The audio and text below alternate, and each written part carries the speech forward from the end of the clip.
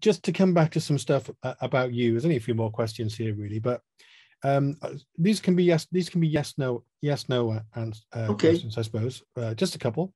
Yeah. Musical instruments. You know, have you ever played any? I've had a piano, went to a summer school to have piano lessons, didn't persevere. I've got a I've got a Yamaha acoustic guitar upstairs that Terry Murphy gave me years ago. Different people have I I, I don't think I got the patience. Okay. So What the about- answer is no. All right. What about songwriting? Uh, Yeah, I've, I've tried to do that. I, I I could probably do it lyrically. I could probably do that Yeah, I bet you could.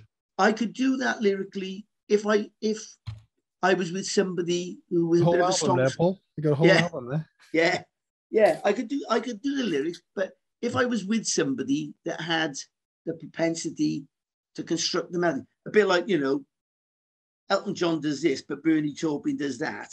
You know, um, how on earth they do it? God knows. I, I Yeah. flabbergasted. But I, I, I'd, I'd have a crack at that. Maybe I have to have a word with Keo. Yeah, well, have a word with Keo. Yeah, that, that's that's that's that's that's good advice. Yeah. Um, uh, I was going to ask you as well about uh, Kia would love that actually. Um, I I wonder if there's anything in this at all. I, I bet there's not, but just I, I just thought about it earlier today. So I'm a I'm I'm a lecturer in a university, and I'm I'm a front man in anonymous iconoclast, right? And Mhm. you you you were a teacher, and you're a front man with Dansette. Is that Yeah. is there something in that uh, you know naturally leads you towards Yeah. the Well, front of it I- all? I've never ever been nervous. Hmm. You know, Yeah, if yeah, I've never been nervous. You know, well, you, know, you get teachers they don't like doing assemblies. Hmm. They, they're comfort. They're in their comfort zone in the classroom, but they're not necessarily the most confident conversers. No. Standing in front of big crowds of parents or kids in school never ever bothered me. I remember my very first lesson in Cantonian, September 1974, Hmm. and I, you know, I remember Dave Thomas there. He said, "No, don't worry when you go in there." I said, "Dave, I'm not at all worried. I just know I can do it. I won't bother at all." So, you know, being in front of the crowd, uh, the two things that the two things are similar to each other, aren't they? In as much as you're putting on a bit of a performance, whether you're teaching or whether you're singing. Um, I'm just lucky it's never phased me really in that Yeah. sense. I'll tell you what, Paul, is, is an interesting one, funny one for you. Um, I think it was the first time I'd met you, although we didn't meet very much. And you were playing at a gig with Kia with Dansette. Uh, uh, and, I, and, I, and, I, and you were doing a sound check. And I thought, this guy's a bit cocky, isn't he? You know, because you were really controlling the whole thing. Yeah. And now I know you. you Yeah. know, I, I, I, I think you're a lovely guy. But the first time I, I saw you, I, I honestly didn't get that, that impression. No, I can imagine. Yeah, I can imagine. Probably a lot of people think that. You know, so there are some people. Take Terry Murphy, who used to be in our band. You won't find anybody, and he's such a. I, he's a, I gave him a lift the other night. He's a great, great, great, great guy and a fantastic talent musician. He could probably get. He could get a guitar or put him in front of a piano, in front of a pub full of people, at nine o'clock in the morning, play till nine o'clock at night, and he wouldn't repeat a song. He's so knowledgeable about music, Mm. and uh, but you won't get a bad word said about from anyone. He, everyone just loves him. Some people are like that. Other people are like Marmite, and I'm like Marmite. So get over it. That's what I'm, I'm used to that. Yeah, I think you could give people the wrong impression, you know, because I, I maybe is maybe the point you made just now when you said it, that resonated with me straight away. You know, you have an innate confidence, and you know, you're not you're not kind of you don't suffer from uh I don't know shyness at all. Really, you just kind of get on with it. You know. yeah, yeah, yeah, yeah. Yeah. So with, with the teaching stuff, which obviously you- know there were a couple of great great bits in that book again, without going into detail now. I, I really love that bit towards the end when you're talking about giving your kind of you know farewell speech. Oh Uh, yeah, it's n- nicely written. It really kind of lead, leads into it. It's almost like something out of a movie where it kind of leads into it. You don't actually you don't need to see it. You know, it's it's it's, it's, Mm. it's all it's all in the build up. You know. But um, also, as well as um, the more kind of academic stuff that you taught, you also uh, got involved uh, heavily with football. And we Yeah, talked yeah. about Tony Woolway earlier. It was decent football. Yeah, good the way, football, yeah. And uh, I mean, he talks really highly of, of you um, Oh, that's nice. as a teacher, and you know, he said you you went on football trips together, and Yeah, yeah. well, you know, it- it- how how much how how pleasurable and what your kind of recollections on on that I loved it. teaching? Yeah, I lived it. I always say, certainly with my days in Cantonian, I always look back at that and said, I was lucky I had good teachers because the kids taught me a lot. I took the football team from the time I got there, and Oh, we yeah. had some we had some great players. Tony was in that in that side. We won everything, and uh, and Tony played for Cardiff Schools for me for a while because I ran Cardiff Schools. Hmm. Um, and then when I went to Cantonian, uh, when I moved to to Radyr, um, well, when I was in Cantonian, we had some very good players. Some of um, Tony's contemporaries, they were they were at Nottingham Forest when when Brian Clough was there, and uh, I remember going up to stay with a friend in Loughborough. So I popped over to see these guys in um, Paul Miller and Chrissy Guy. Their names were. Um, Paul Miller played for Wales um, in the same side as Kevin Ratcliffe. So when Kevin Rat was a schoolboy, that's we're going back to the 1976. It must have been. yeah, I remember visiting, going up to Nottingham Forest to see them, and Brian Clough was there, and he said, "Good boys, yo, those Welsh boys, good boys." He was saying, you know, and uh, I just loved it. I used to travel up when Paul played for, for for Wales against England. I went up with his mum and dad up to York. You know, they picked me up at five in the morning, and we drove all the way up there. I I loved it. It, it was it was good for me um, because it gave you another it gave you another in with the kids. You didn't do it because of that. And these were the days where football matches were played on Saturday mornings. So you'd be out on you'd be out on, on a Friday night, and Yeah. they'd be my dad get me up. You see, you got football this morning, and yeah, after have to drive in. You're a bit hungover and a bit groggy. Yeah. Do all the kit, bring all the bring all the kit home to, to wash. Give the, my mum to, um, or, or or my grandmother. Then it would have been to, to to put in the washing machine, and I just loved that whole involvement with it. And um, and and I liked in those back in those days, there wasn't as much red tape to get through. So if, for example, you wanted to take a, a, a tour, you didn't have to fill in God knows how many forms. And thank God there was no internet, so there was no Google. There's nothing to give you. They're meant to be labor saving devices, but they they're useful for this. Oh my God, do they create work? You know. yeah, yeah. And uh, uh, that Lyndon Lynch, who I mentioned, he was teaching up in Harlow, up in North London. In Harlow, he was teaching, and uh, he, I arranged a little football tour, and I took my school team.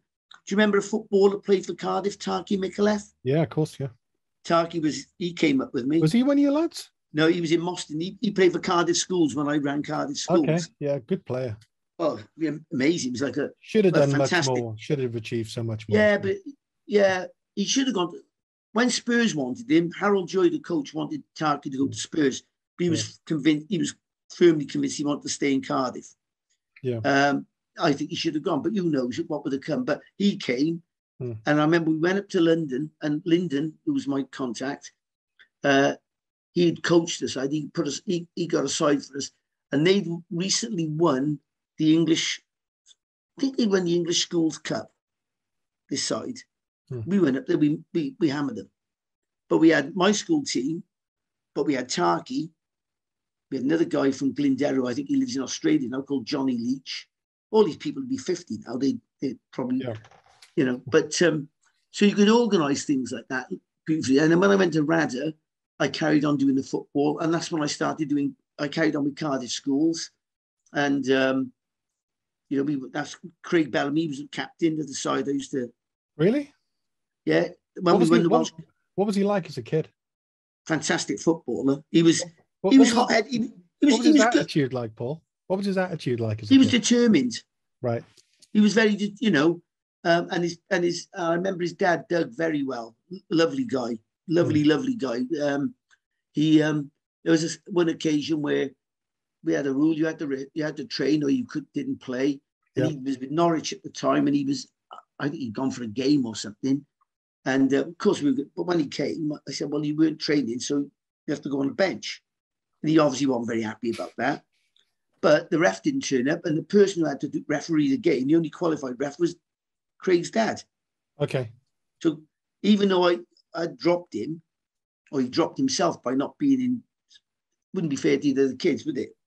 So he, he So even though he he was dropped, and he went on he went on the bench. I think he came on later in the game, but his dad was that sort of guy. Said, "I'll ref." And then when we won the Welsh Cup, Craig scored the winner. So I, I I don't know what whether you, you would say this. Did did you sort of think then this lad's gonna, you know, did you think he had a oh, if anyone was going to make, it, he was going to make It was it. him, yeah. He was only a little lad, but I remember seeing. We, Mm. I think can't remember if we were in Bristol or Swindon or for one of these Mm. regional cup things, and we had to drop him off the station. He'd get off the bus, you know, on his own. No, you know, but as a young lad, don't 13, 14, 14 maybe, with his little bag, and he'd get on the train. He never looked back, and off he'd go to Norwich. Wow. Well, you know, if I had to go to Norwich this afternoon, I think, oh God, got to all the way up there. Yeah. Give me a bit of a yeah. bit of a slap to get yeah. up there. But no, fair play to him. He, he you know, he deserved, he, he des, you know, he deserved it. I think. Um, but they were a good. We had a good side then, and I, and and then I my my Radyr school side another. We uh, we won the Welsh Cup. We won the Welsh Cup. So I love doing extra things with kids. You know, I used to run the chess team. I used to take. Um, I, I took uh, international expeditions to South America, well, Costa Rica. Where else did go? Kenya. Yeah, uh, uh, Peru, Ecuador. I, I just love doing things like that, extra things. And it was, um, I think it was easier then. I think towards the end of my career, if anyone says schools are not exam factories now, I think they're lying. Hmm. Since the, since the creation of the league tables, because now kids can't afford to meet, miss a maths lesson. They can't afford to miss you know miss anything, and it's it's all about this A star to C percentage, and that, and I think at school a lot of schools suffer. Rather was a fan, rather a fantastic school for music, drama, you know, the art department there, oh, just phenomenal. But all at P department, fantastic P department, hardworking guys there. Hmm. You know, teams in every sport at every age group, Yeah. and yet their times being squeezed because of the pressures, the academic pressures. Yeah. You know, so um, I'm sure that I lived my 40 odd years teaching, but I'm glad I'm not there now.